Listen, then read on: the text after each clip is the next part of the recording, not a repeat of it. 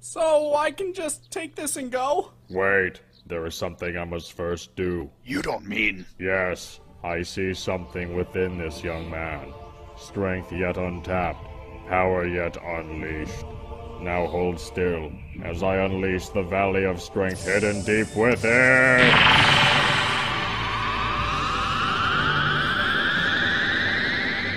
There, I have unlocked your potential.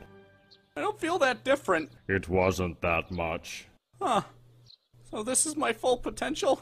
Yes, So then it's all downhill from here. like Yamcha.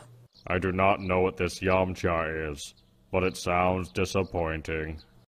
Guru, sir, we have another traveler from Earth. Oh, tell me you didn't let him inside. Hello, Mr. Guru. Oh, god damn it! Mr. Guru, sir? My friend Krillin told me that you could help us by touching me. Do I look Catholic to you? Sir, I think he means he wants you to release his hidden potential. Yeah, that. Fine, stand still. It's your first time, so I'll be gentle. Now relax as I reach deep inside you and grab hold of your essence. I need an adult. I am an adult!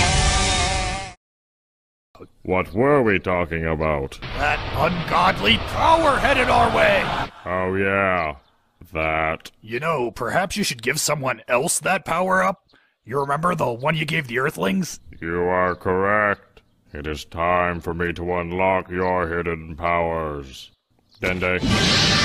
Oh, what the hell? And now, your power has been awakened. I noticed. Sir, I was referring to me! Now listen to me, Dende.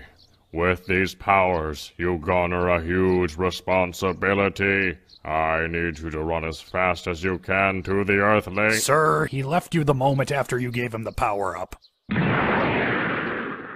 That's slut!